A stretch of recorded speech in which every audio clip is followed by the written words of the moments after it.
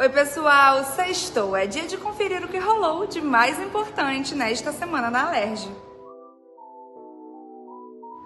Você sabia que a ginasta Rebeca Andrade, principal destaque do Brasil nas Olimpíadas, vai ganhar mais uma medalha para sua coleção? É que a Alerj aprovou o projeto de lei para homenagear a atleta com a medalha Tiradentes, a maior honraria da casa. Além de recordista brasileira de medalhas olímpicas, Rebeca nos representa sendo uma voz na luta contra o racismo e pela diversidade. A CPI da Alerj está investigando os planos de saúde decidiu convocar os presidentes dos convênios que vêm cancelando de forma unilateral os contratos de pessoas com deficiência.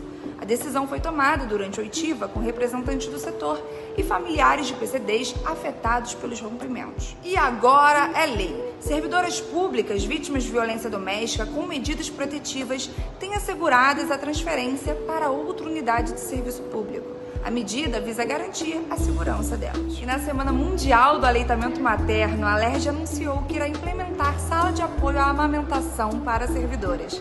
O comunicado foi feito durante a audiência pública da Comissão de Defesa dos Direitos da Mulher, que debateu políticas públicas sobre o tema.